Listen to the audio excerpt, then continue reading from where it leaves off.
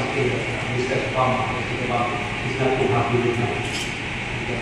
So while, while you know, let's say it's all for the Americans to be a little bit more patriotic and to peaceful instead of outsource, the fact remains that Cebu is one of the 10 most successful outsourcing locations in the world.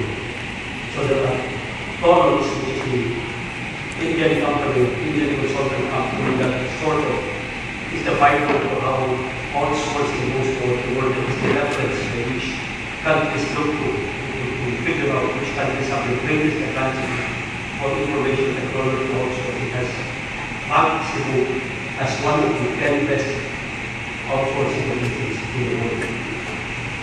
So outsourcing is the second way, which will be shown in real detail in the video. The third area, of course, of course, is tourism, and I am not an expert in this. I do know and I see how tourism is doing